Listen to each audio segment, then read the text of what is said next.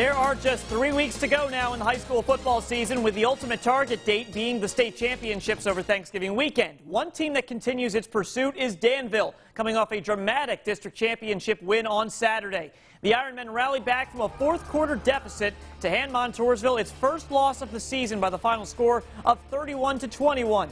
Danville captured its first district title since 2012 behind K.J. Riley's brilliant effort with two passing touchdowns and two rushing. And now the Ironmen are one step closer to Hershey. We talked at halftime, we regrouped, we got things together, we, uh, we understood we can score points in bunches we can win the football game. And for our kids to come out in the second half, what a spark our defense gave us.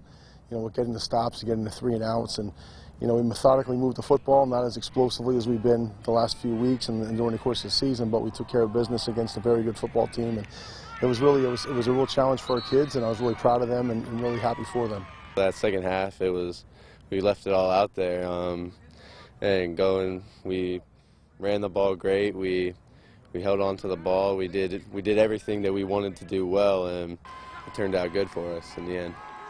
We have seven games to watch this weekend as our local teams compete in the state quarterfinals. On Friday in Class 5A, Valley West gets the tough task against Erie Cathedral Prep. In 4A, a battle of two locals, Crestwood and Jersey Shore. In AAA, Lakeland with its own challenge against traditional Power Wyomissing And in Single A, Old Forge faces off with Steelton Highspire.